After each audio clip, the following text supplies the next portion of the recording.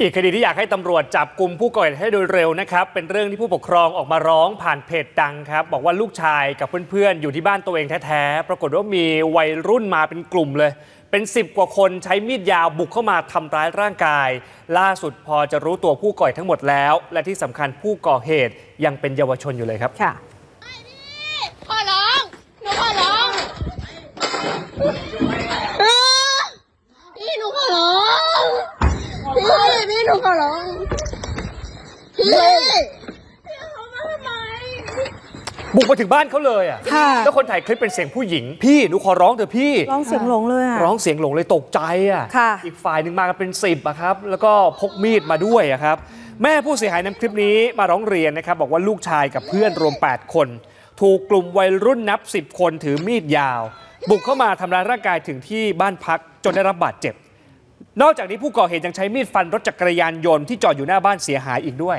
ก่อเหตุเสร็จหลบหนีไปเลยครับ เหตุการณ์เกิดขึ้นที่อำเภอคลองลานจังหวัดกำแพงเพชร ช่วงบ่าย3ามโมงครึ่งวันที่ 18 ตุลาคมที่ผ่านมา ต่อมาเพจกำแพงเพชรน้องเรียนอะไรบอกไว้ที่นี่โพสต์คลิปนี้ พร้อมกับระบุว่า โจคลองลานโหดตามถึงในบ้าน ผู้ปกครองร้องเพจ เพราะไปแจ้งความตำรวจบอกให้ไกลเกลี่ยครับ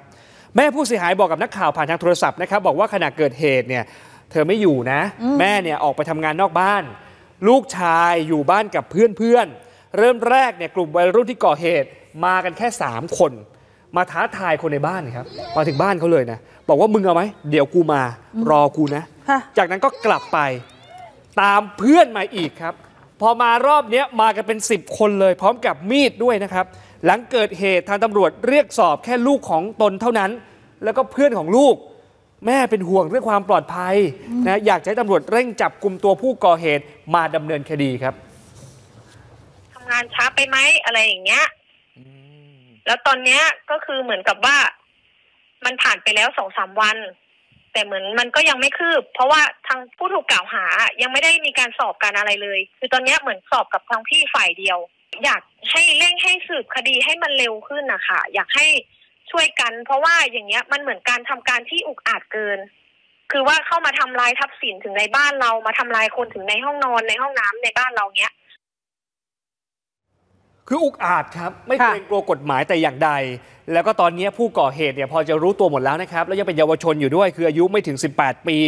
นะแล้วขณะเดียวกันเนี่ยตอนนี้แม่บอกว่าก็ห้ามลูกไม่ให้ออกไปไหน เพราะเกรงว่าจะเกิดอันตรายถูกดักทำร้ายซ้ำอีกครับค่ะ